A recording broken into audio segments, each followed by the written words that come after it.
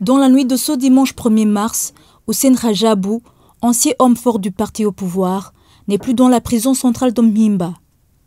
Il venait d'y passer 8 sur 13 ans prévus pour sa peine.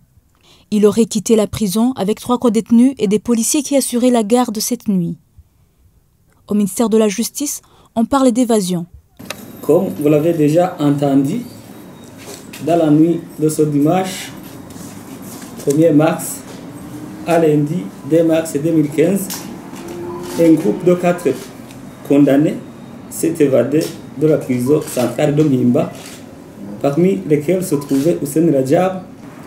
Il est parti avec d'autres détenus, entre autres Dibakare Bode alias Ndindi et Likuma Naremi qui assurait sa sécurité, ainsi que Iran Syriac qui préparait ses repas avec trois policiers. L'incident s'est produit tard pendant la nuit. Les, policiers qui devraient garder la relève de ceux qui assuraient la garde jusqu'à minuit ont attendu qu'il soit réveillé mais en vain. Ce n'est qu'après minuit que le brigadier de permanence BPC Eman Nakiza Manasseh est passé au corps de garde et a constaté directement que les policiers APC Nyomungere Yves et APC Louimana Désiré avaient abandonné leur poste de garde. Il a constaté également que les clés de la prison qui étaient dans les mains du brigadier de corps de PP2 Polichouone Ezekiel avaient été jetées par terre sous la porte de la guérite où dormaient les autres policiers.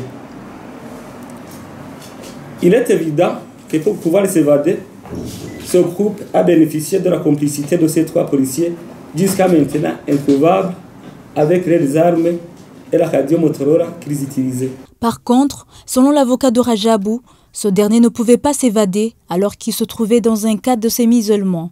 On nous a dit qu'il se serait évadé de la prison euh, de Mbimba.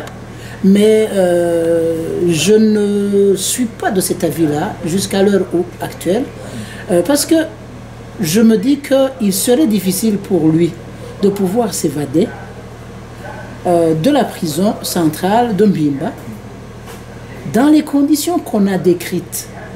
Parce que d'abord, il, il était dans une situation de semi-isolement. Il n'habitait dans la partie de la prison qui lui était réservée qu'avec deux de ses gardes. À la veille des élections, la disparition d'Hussein Rajabou suscite des inquiétudes et des interrogations dans les milieux politiques burundais.